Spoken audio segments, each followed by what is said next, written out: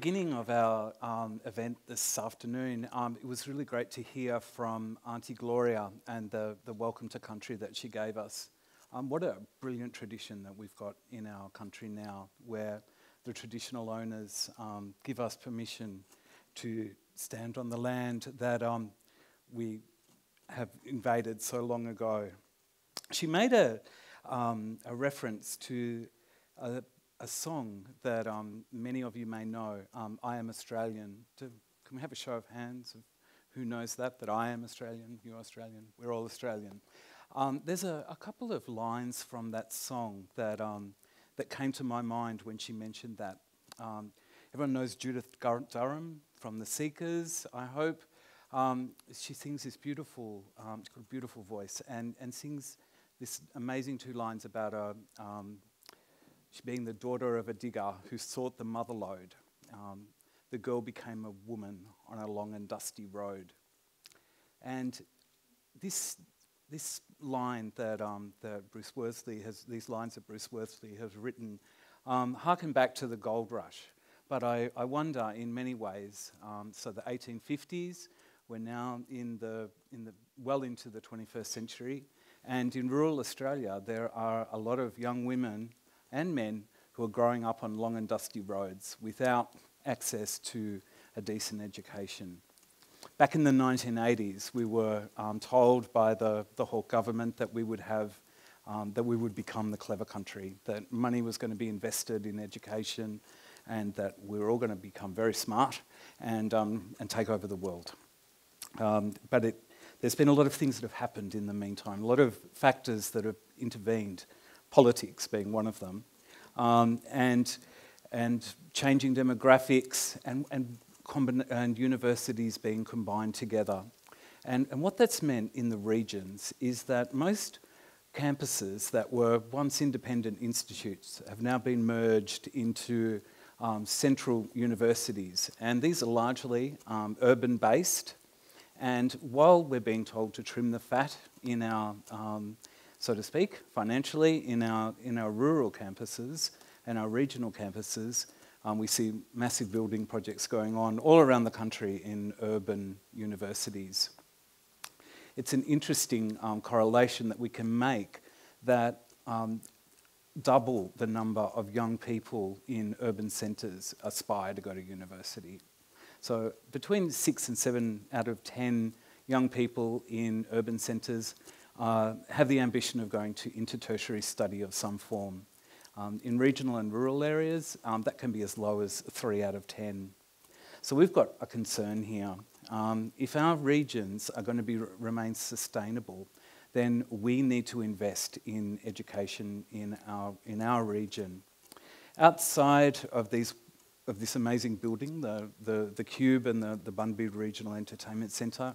We have people that are working in our community very hard to support and make our community sustainable. And um, as Rebecca mentioned, we have um, a campus, uh, a rural campus, regional campus, here in Bunbury, um, which is part of a three campus university, two of which are urban based. Um, two campuses are urban based. So rather than relying on government, what we need to do as, a, a, as any sort of regional university needs to do is to reach out. Um, we can't be the hallowed halls of academia. We can't keep the knowledge um, and be lauded for the research that we do if we're not engaging with our communities, if we're not going out and, and doing some work um, with the people that are in the communities that are supporting us and making ourselves relevant. It's so important that um, that we get to uh, keep our university campuses in the region. The majority of students that um, go to regional campuses are usually mature age students. And that, that often gives the impression um, on paper that these campuses aren't necessarily as good as the ones in the city um, and in other in urban centres around Australia. Um, and I would argue that that's not actually the case. Coming to a regional campus um, such as uh, Bunbury, and this is not a, an advertisement, but I do have a stall set up outside if you'd like to sign up for a course, um, is that you actually have smaller classes, you have a, a, a beautiful campus um, in natural bush settings um, We even have the kangaroo. After the students go home, we have kangaroos come in and sit on our lawns. And um, then we have a man come around in the morning, clean up the mess that they've left behind at night time. Um, so it's a really friendly place. Um, an amazing international experience. Perhaps we're not targeting um, our university campuses and our regions um, quite widely enough. I spent uh, seven years doing my PhD part time. Um, so I was working full time, um, so I wasn't um, sitting back um, living off the taxpayer, just so you know. Um, but uh, but it, was, it was something that uh, I invested a lot of time in. And at the end um, of my degree, I thought, what can I, what, who's going to read this? It, it's 100,000 words.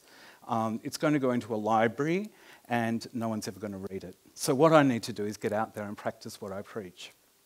I need to be on the coalface. Um, I need to be part of the solution. Um, so my partner and I packed up and left Sydney, and we went up to Darwin, and, um, and we worked with people from rural and um, remote communities. And I saw some of the uh, greatest poverty that I've seen in my life. Um, really uh, challenged my, my views of the world. I saw towns that didn't have high schools. Um, I saw towns uh, where children would have to go off to boarding school if they were going to get an education. And, um, and, and, and that is um, an indictment, I think, on, on us as a society.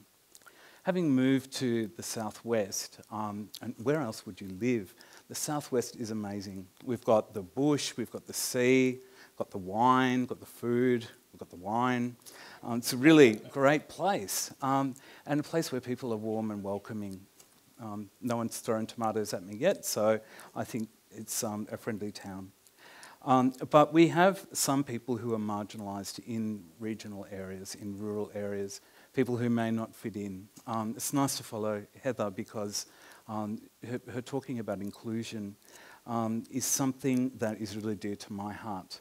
Um, since I've been living in, in Bunbury, um, I've been involved with working with some youth um, who are, um, would identify themselves as marginalised, um, working with um, gay, lesbian, bisexual, transgender youth in, in our region. And how amazing is it to be able to do that in a regional town where in most regional towns those sort of services aren't available for young people but here we have a model of best practice that we can put forward to the rest of the country and say, hey, look, we're doing this here in the Southwest. This is really good. Um, why don't you try and do it too? Why don't we create um, an inclusive Australia?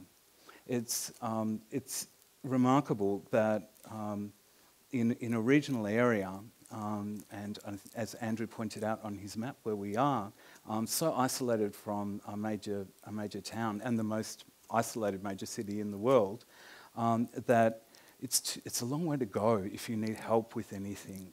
It's the tyranny of distance. It's that long and dusty road um, that Judith Durham sings about so well. And, and so we need to make sure that our, our communities are sustainable, that our young people are going to aspire to live in our regions, that they're not going to drift off to the cities, that there is a life here for them, no matter who they are no matter what they do, no matter how they feel or who they love, that our town is a place where they feel comfortable and they would like to stay, where they would like to study, and that they can become the best people that they can possibly be. We have an investment um, as a university, as individuals, as a community, in making sure that everyone in our community feels safe and welcome. And without the support of a university, um, young people are going to leave. They, aren't, they, they may not come back, they may, people may come or go.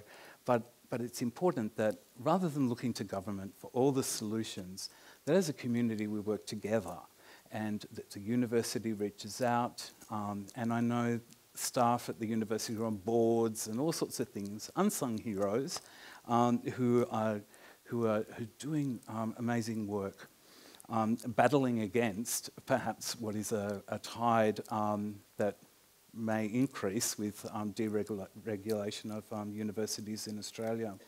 And we need to make sure um, that no matter what happens with government funding, that as a community we work together um, for, the, for the benefit of all of the young people that we would like to see stay here, your children, your grandchildren, and make our community the best place it can possibly be. Thank you.